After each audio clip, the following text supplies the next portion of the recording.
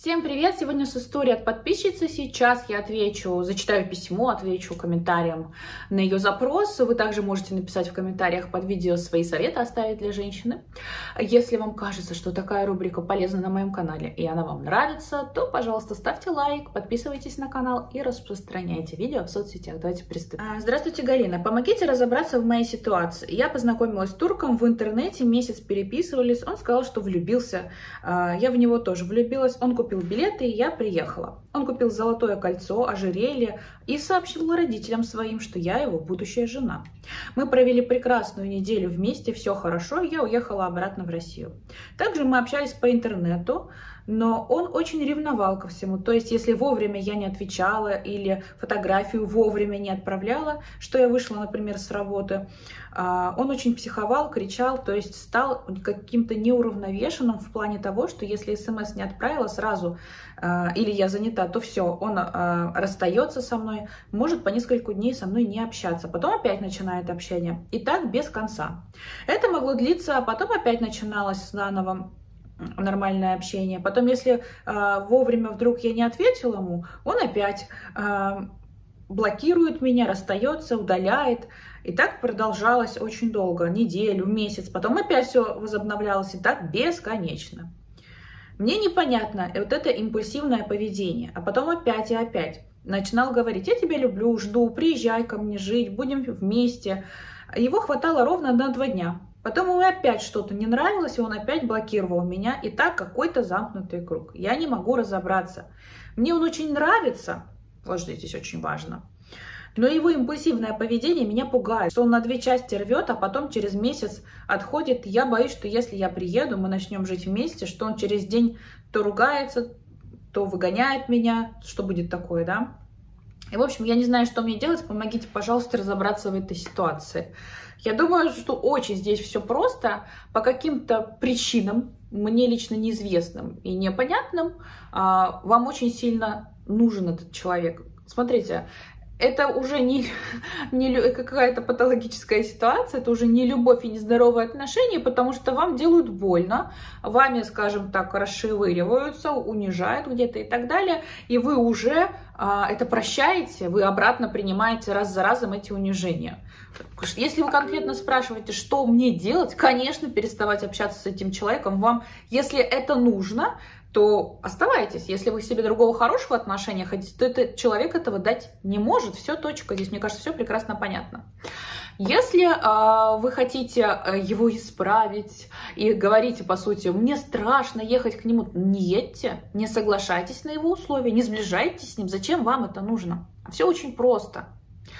А, возраст вы свой не указали, ситуацию тоже, в принципе, довольно-таки обтекаемо, то есть очень описана ситуация, без каких-то деталей и тонкостей, очень трудно делать какие-то выводы, да, предположения в том числе, но по крайней мере, я здесь вижу, что вы отметили, вы же в письме пишете, да, я читаю, читаю ваше письмо, вы ответили важ, отметили важные для вас моменты. А такими моментами у нас что оказалось?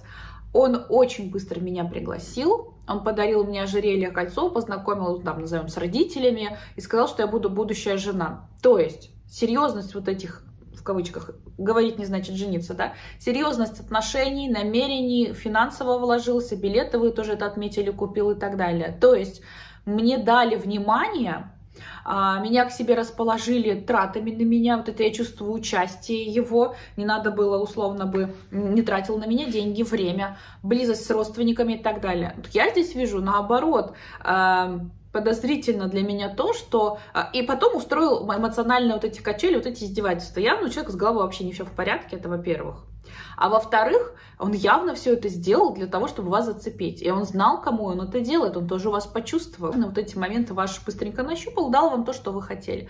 А взамен он устраивает вам эмоциональные качели карусели, а, поведет себя очень неадекватно и довольно-таки странно. Я даже честно скажу, мало информации, я бы не хотела брать, типа, вилами по воде писать, предполагать, какие диагнозы, короче, ставить. Но это явно не история не, не для здорового человека. И с ним вы держитесь ровно потому, что он на вас потратил время, потратил деньги, приблизил типа а к семье. Но по факту, если мы это разбираем, это ни о чем. Да, это были действия конкретные, и вы, скажем так, его съездили, посмотрели, убедились, познакомились, там, не знаю, колечко там почувствовали, ожерелье какое-то и так далее, но мужем он моим не стал еще, я никуда не переехала и так далее. То есть э, некие действия для того, чтобы удержать, для того, чтобы проворачивать всю эту историю. А из морального здесь, конечно же, подключено чувство вины. У вас оно, вы очень легко его на себя берете, потому что вы чувствуете себя отчасти виноватой. А, и он вас, вам эту вину, по, вы это не писали, но я уверен, он эту вину вам навешивает и говорит, это ты виновата. Сами по моменту, это ты не вовремя отправила фотографию, это ты не отчиталась, что ты ушла с работы, это ты виновата в том, что я тебя подозреваю, что-то такое прочее. Вообще история довольно-таки очень маниакального характера, я бы сказала, у человека еще проблемы, алло. Понимаете? В чем здесь интерес? Что э, девушка бы, если бы ей это не нравилось, нам сразу после первого, на второй хотя бы раз дав, окей, дав шанс, на вторую подобную выходку, она бы уже сказала, слушай, дружок, иди ты лесом, мне ни ты, ни твоя свадьба, ничего вообще тебе не надо. Это что вообще за отношения? И э, девушка бы задумалась, или женщина, да, у него все ли в порядке с головой, что за поведение неадекватное? А вот вас этот вопрос почему-то не беспокоит. Вам просто страшно, что если я перееду, вот смотрите, сама постановка, как вы написали, мне страшно, что если я перееду, он меня выгонит, типа условно, у меня там ни денег, ни языка, ничего нет, что мне делать? Если вам, вы уже ставите саму вот этот вопрос, что вы готовы ехать, вам просто страшно там, но вы задумываетесь в голове, что вы, возможность, да, шанс переезда есть, я бы ответила, что на второй раз, когда он только это сделал, в голове вот этой мысли о том, что можно, типа, к нему еще поехать, что-то в голове остается, этого не должно быть в ваших, в ваших мыслях. Этих рассуждений уже не должно было быть. А вы об этом думаете. И меня вот это в этой ситуации, скажем так, настораживает повод задуматься. Это неверно, пожалуйста. А, вам то, что вам страшно, то оно сто процентов и будет. Зачем куда-то ехать? Чувак показывает себя неадекватом. Господи, вас мама для этого с папой рожали? Чтобы ехали к какому-то психу агрессивному, непонятному, с маниакальным а, желанием преследовать. Это вот честно, никакой информации нет, вы ничего не говорили. Но подобное развитие ситуации очень сильно, очень сильно намекает, прям кричит сама ситуация, что у человека какие-то ментальные проблемы существуют. Понимаете, это ни, ни в коем случае не связано ни с турецким менталитетом, ни с турецкой ревностью или еще с чем-то. Алло, он вам вообще никто и никак, а уже не просто заявляет какие-то права, что-то выпендривается и диктует, например, условия. Он уже маниакально себя ведет. Вы видите, что на меня, скажем так, это показывает? Цикличность его э, поведения. Вы уже схему эту сразу быстренько даже раскусили. В принципе, даже находя жертву, вообще в последний человека, который увидит цикличность, закономерность какого-то поведения человека, который воздействует на жертву. Ну вы даже уже сами уже это все увидели, и мне об этом пишите письмо, уже проанализировали, что он, вот он на неделю, на месяц, бесконечный какой-то вот этот круг не заканчивающийся, плюс э, его хватает нормального состояния на два дня, вот приедете, если вы решили ехать все-таки, да, у вас в голове вообще такие мысли есть, то вот это на два дня, вот эта вся история, она закончится на ноль дней, он всегда будет в этом маниакальном состоянии. Больше скажу, вообще, вы представляете, что у человека может быть на уме? Он не боится вас потерять на расстоянии, вы еще не приехали, он уже вас долбит.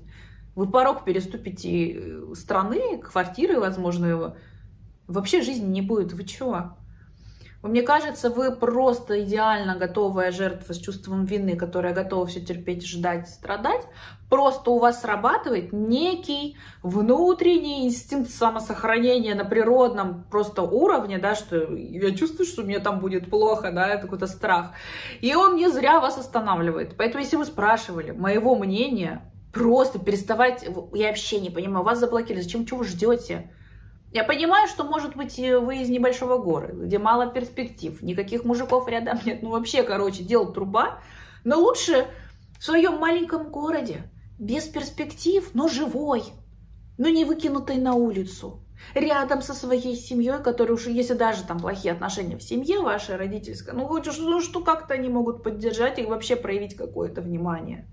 Ну, елки-палки, ну зачем, что, это, отдаваться на, не знаю, растерзание?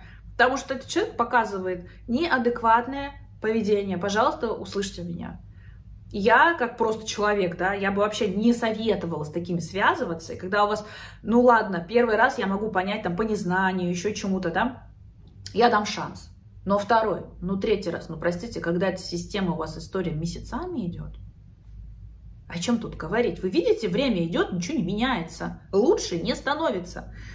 О каком переезде вообще можно думать, если вы видите, только ухудшается, она почти стабильно плохая, я бы сказала. Не улучшается, э, а стабильно фигово.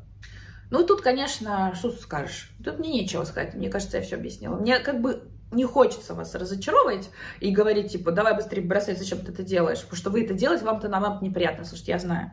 Но я просто, это ваш выбор, делайте, что хотите. Но я вас предупреждаю, что это, да, опасно, приедете, да, вас выкинет, выгонит, и отношения будут короткими, его надолго не хватит, он себя вообще сдерживать не может, и он вам сразу, как переступите порог дома, начнет не то, что гайки закручивать, непонятно. Я вообще опасалась такого человека, в принципе, к нему домой идти. Это закрытое пространство помещения, закрылась дверь, и неизвестно, что у него вообще в голове будет. Я, кстати, не про какое-то а, сексуальное насилие вообще говорю, а про садистические, может, наклонности. Но же человека вообще как бы с головой не очень все в порядке. И, и это видно прекрасно. Это не то, что звоночки, намеки. Это колокол, это в набат бить надо. Никакого-то... Я бы, если вы меня спросите, как себя что сделала на вашем месте была, я бы просто заблокировала и вычеркнула эту поездку, вообще эти разговоры. Блин, вы видите, что человек вообще себя как проявляет? Это что вообще? Как бы no comments. Поймите, надуманных поводов для провокации, которые сейчас есть, в реальной жизни их будет еще больше. Это ты закрой себе, не знаю, паранжу вообще одень сетку на глаза, чтобы ты глаза даже никто не видел. Потому что для них, он, понимаете, интересующиеся взгляды всегда будут. Вы представляете, вот вы идете с ним по улице, он все равно кто-то посмотрит, просто как человек, без интереса мужчины или там флирта какого-то.